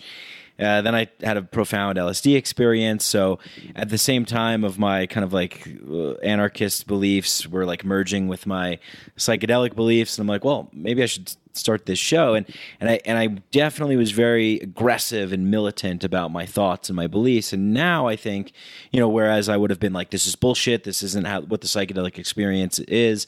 But now I kind of see it in this just continuum. You know, it's like, look, there's people that are doing it, and and and there's people are going to do it in all kinds of different ways. But as long as we're I'm doing it in a way that's true to me and putting that out there, that I can at least speak for that and I can represent that. You know, and you know, maybe it's not such a bad thing that we have these Silicon Valley Google people doing these microdoses and that we have these kind of chic, trendy ayahuasca retreat things. Maybe it's a way to get into the culture. Maybe it's a way to seep in. I don't know. I'm I'm just starting to be a little bit more accepting of that because I know how difficult it is to break into someone's reality tunnel with the kind of approach that we're talking about with psychedelics. Um, and then maybe maybe that sets them on the path to diving deeper into a more serious, intentional, healthy, uh, respectful relationship. Maybe. Well, I, yeah, I would say the only thing with that, I think, is the importance of acknowledging the limitations and being honest about what this actually is. You know, I think that there's a lot of these, you know, some of these retreats who really don't have the qualifications to be doing like real healing work. I mean, you know, or or facilitators who, you know, you're facilitating a drug experience, right? You're someone's taking a drug in your presence, you're keeping them safe, making sure nothing bad happens to them, but you're not really doing therapy, right? Like Right. you're not um not necessarily creating like a uh, you know it may have aspects of healing, but you know, I think so it's important to with that to be acknowledging where are the limitations. Right. It's not, they're not it's they're not these uh, comprehensive, all encompassing healing modalities that are really uh, nose to tail inclusive in all of the needs that an individual might have when going to these depths. Right. And so I think that that, you know, if there's anything that I would say is desirable or, or is left to be desired in a lot of these things is for there to be a bit more honesty for there, you know, like if it is like kind of a bougie retreat where it's more just kind of, you know, right? Like we're gonna, it's this lavish res- resort setting, and you're gonna, you know, drink ayahuasca, and it's gonna be so beautiful, and you know, do yoga every morning, and it's more of a retreat setting. Great, you know, I mean, for someone who is uh, well adjusted and you know uh, is in a good place, and maybe they're just that they want to have this experience to kind of check in with themselves on how they're doing and maybe they have a support network right like friends and family that are all there for them um you know no problem right but if you have someone who's got like some serious stuff to work through and there's not uh, enough clinical expertise in screening those people, you know, they might get into that retreat, have a really difficult experience, Right. not have any support on the back end. Um, then you're causing harm. Or even the, that's the people that sorry, and that's yeah. No, and, and that's just kind of the the thing that I'm saying, like, you know, people having more honesty about like what they're actually providing. Right, right. And then also just having that safety net there because you never know. Someone might apply, they might get into a place. They don't even know that they have something in the deepest recesses of their subconscious and the, in the depths of their psyche. They don't know that they have this trauma and that they've been carrying in their body. Uh, and it comes out. And then how are you going to deal with that Mm-hmm. you know or the case of a spiritual emergency um, you know that happens uh, that's why I think in an ideal world, um, we don't have those kinds of retreats. We don't have people Sure. who are unqualified doing agreed these yeah things. yeah Um, you know, and and that's where like, you know, I feel like very protective of people who are, you know, going, you know, who are desperate to feel relief from their depression or anxiety or whatever issues they're having and they're reading all these things about oh psychedelics can help. Um and again you know this this ties into where my passion is where it's like well it's not so much the psychedelic as much as the the connections that you have that are supporting the psychedelic experience um, and so that's where I would love to see more people understanding that, like, yes, the psychedelic can be helpful, but more than the psychedelic being helpful, it's going to be the container for it. right That's going, you know, the container that continues with you, not just for three nights in the Peru Peruvian rainforest, but Yeah. also like who's going to be with you when you go back home Right. right? Do you have a therapist who supports you? You know like all those kinds of things. Yeah yeah. So yeah so i mean i think that you know and like you said if if you don't have the clinical training you know you're not going to spot it. And you know and even more than that there's a lot of people who might go into it not even having awareness of something coming up. Right. So- yeah, super important. And my ideal world, we would the container would be omnipresent. The container would be reality. Yeah. You know, that would be my ideal world. You know, where we would be living in a community. You'd be here, you know, we could like-minded people can get together and live in a sort of eco village and we can live our lives in ceremony in ritual in communion with each other in harmony with with nature and with respect for uh, for everything around us that would be my ideal situation is you know to not have this sort of thing go away, but to just but to be there as a as an integral part of the human experience and, and an integral part of uh, shaping the best opportunities possi- and possibilities for human health, happiness, prosperity, and um, you know fulfillment. And I, I think that in our culture, as we allow for individuals to heal, those individuals will begin to shift things back to a collective Yeah, because those individuals can be outside of this illusion that we're separate. I mean, our, our culture is so focused on we are individuals. You know, I stand on my own two feet, and I, you know, right, right, like Sure. the independent man, the independent woman, the entrepreneur. Yeah. right. Like I provide for myself, and you know, you know, we we exchange money for goods, and and it's very, you know, everything has to be like that. this is mine. This is yours. Right. Get off my lawn. Right. You boys hit this ball on my lawn. I'm keeping it next time. Right. The, yeah. the scooter man, if you pass by scooting around with that loud thing one more time, you know. Yeah, we're gonna put it we'll put a sign outside that says "Scooter Man will be shot on site." It's like, hey man, this is this is our rules here. This is our property. Get get off my property. Right. So so I think that, you know, as as in our culture, if we allow if we give space to individuals, those individuals um can can then start connecting with other people who are in the similar vein of like we can create community. Yeah, there you right? go. Yeah, finding Um, the others. Right. We're finding the others. We're creating community. We're creating inclusivity. We are giving voice to people who maybe have not had a chance to speak. We are, um, you know, and and we're questioning the structures that are in place. And I think that creates gradual shifts.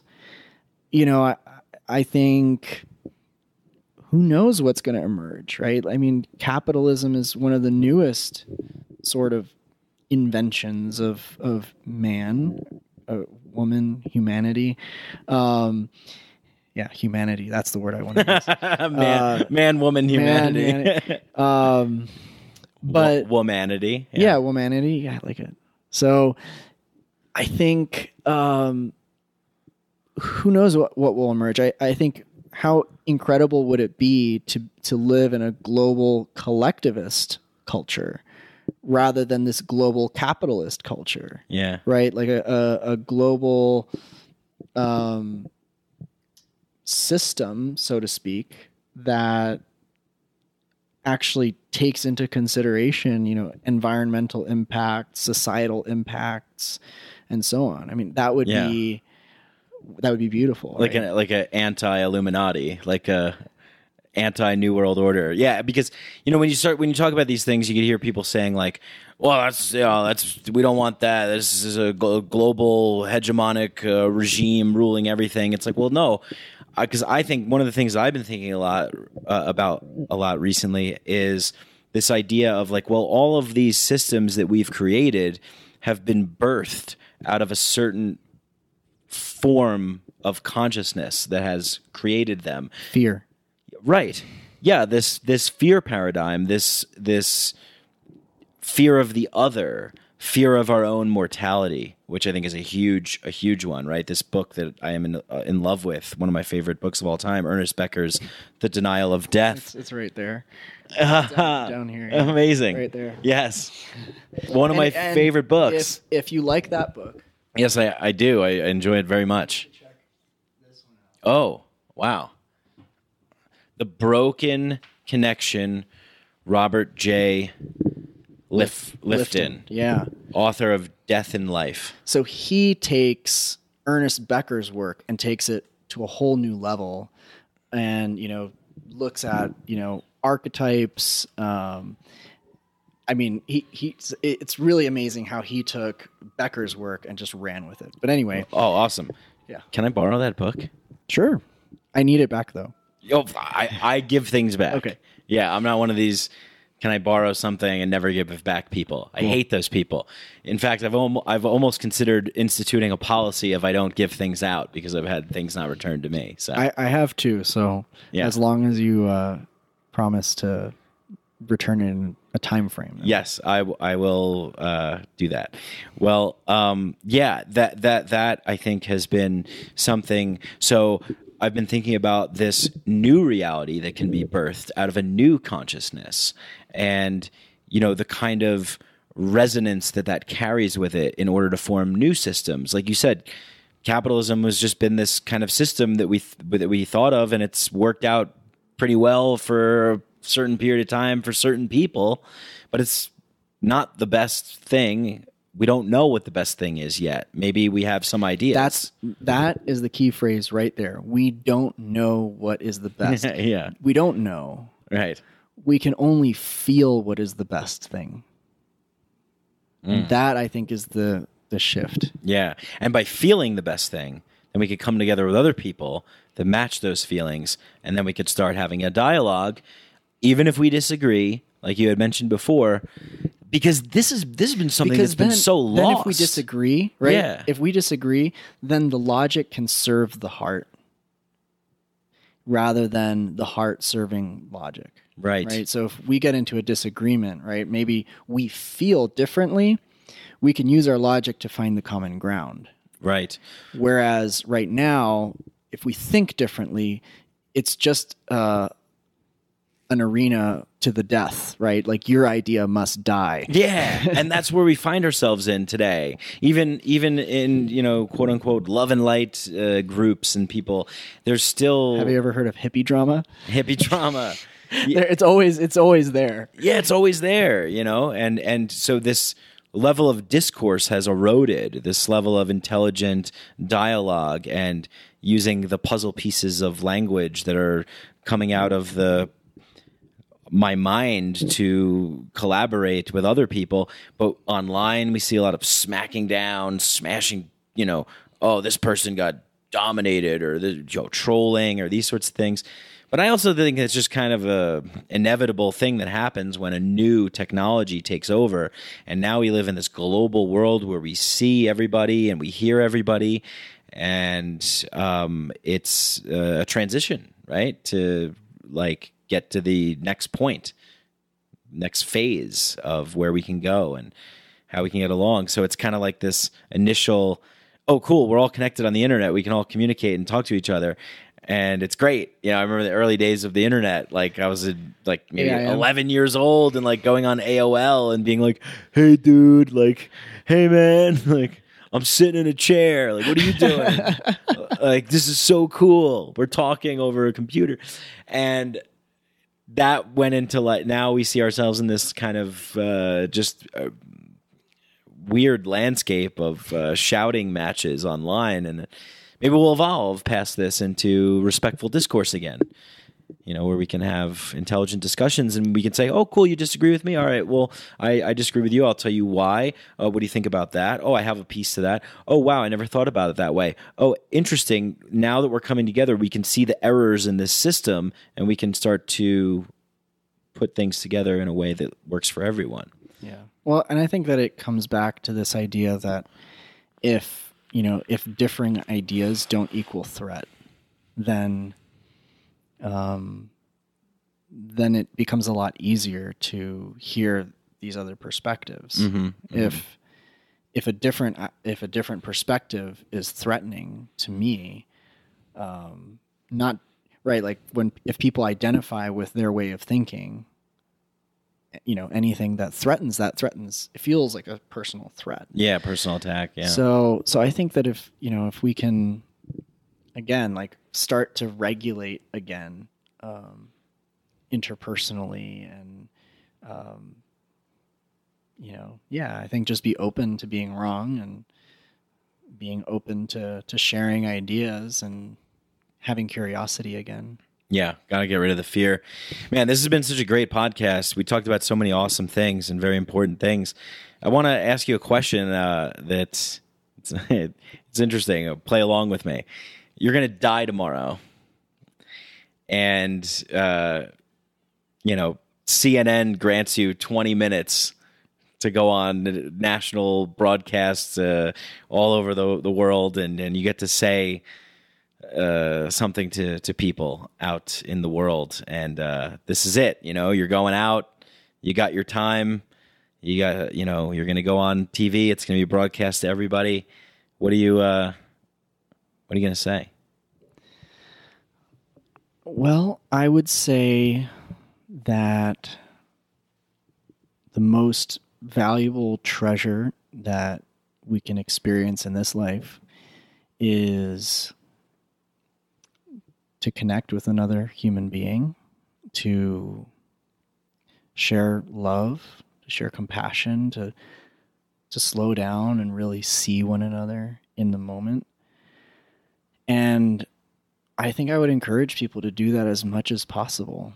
Like, allow yourself to love and be loved. And I think that if there's one achievement that we could have in this life is for us to learn how to allow ourselves to be loved. How do we accept love? And, um, you know, I, I just don't, I think that beyond that, everything else is auxiliary, right? Like, you know, it doesn't matter how strong you are, or how healthy your body is, or how much money you have, or uh, what achievements you've made, and how many books you've published, or papers you've written, or debates you've won, um, you know, things that you've made. I think the one thing that that we get to have, or like get to really measure our richness, is just by the connections that we've made. Um, and if we can just share a moment of acceptance with one another, you know, I think that that's that brings the most joy, right? Like to be able to, you know, either to forgive someone, to uh, to listen to their perspective, to listen to what their life is like, um, and also you know to to be in situations where you get to receive that too. I mean, I think that's that's the best thing that you can have, and you know, I've gotten luckily I've gotten to experience a little bit of that in my life. I hope I get so much more and I wish for all people to get to have the experience of just being seen and, and being loved and finding community. Perfect. I thought you were going to end it again with another one word, one word mic drop like you did last time. That was beautiful. Thank you so much for sharing that. Yeah. I mean, that is, you know, talking about all these things that we're talking about in the podcast and all the things I talk about with all the guests on the podcast and really, you know, whatever you want to say it's cliche or whatever. I mean, it's true. It comes back to love. It comes back to love and being seen and, and everything that you said. So thank you so much. Um, Rafael for um, for for spending this time with me and and for sharing all this uh, this great uh, information and wisdom. Um, you're uh, working with Innate Path. Uh, people here in uh, in Colorado and Denver can come and see you. Uh, they can go on the website uh, innatepath.org Org. And uh, and you also have an Instagram account. You do things so, uh, and you have Five Hive. So uh, these are places where people can go. Anything else, or is Um, yeah, I mean, you know, there's other than that, I've just been working on various research projects with 5-MeO DMT. So there's some cool research to read about there, and oh, your paper? Yeah, well, several. Yeah, there's great. Yeah, Yeah, we'll so- put those in the show notes. cool. Yeah, Yeah, yeah, yeah. yeah. Um, and uh, yeah, that's the main thing. Just, I think, I, I lately I've been super into Ram Dass, so Oh, great. you know his all his stuff. But I just love you know this idea that you know we're all just walking each other. We're all home. just walking each other Yeah. home. Yeah. So, Ah, so if you know we just all good old Rami. yeah. I mean, yeah. It's like how could you how could you not vibe with that? Yeah. Love everyone and tell the truth. Yeah. Right. I mean, there's so many gems. What a great spirit. Mhm.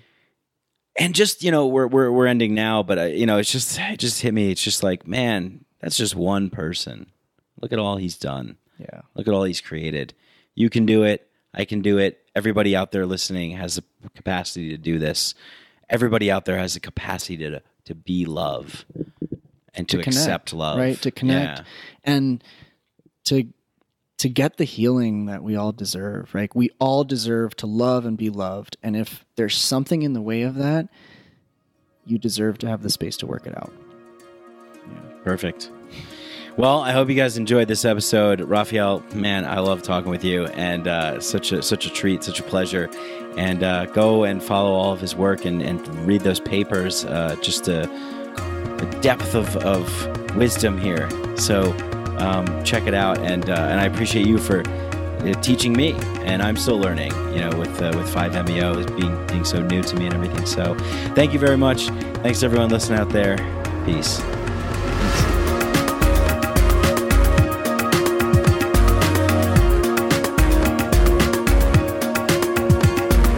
Hey, I hope you guys enjoyed that conversation as much as I did. Hope you guys like these podcasts and enjoy them. And if you do, please spread the podcast, share it, tell a neighbor, tell a coworker, tell a friend, tell a cat, tell a mouse, tell a dog, tell an ant, tell a firefly, tell whoever you tell.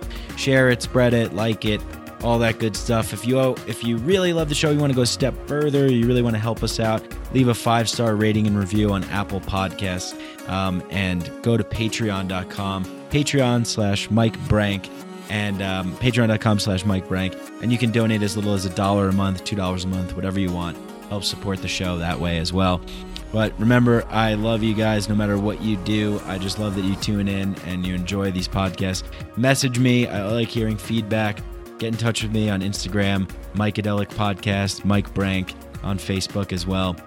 And um, thanks to our sponsors, Synchro and Hemp Bombs. If you want a discount on ketogenic and plant-based nutrition products, go to Synchro and type in the code uh, Mikeadelic at checkout to get 20% off.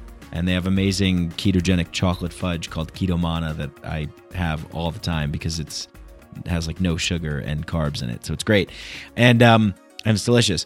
And if you want CBD, uh, go to hempbombs.com and get 15% off all your CBD needs, I guess. And uh, just enter the code Mike15 at checkout. But thank you once again to everybody. Thanks to Danny Barnett and Galaxia for the music, the intro, and the outro. I love you all. Peace.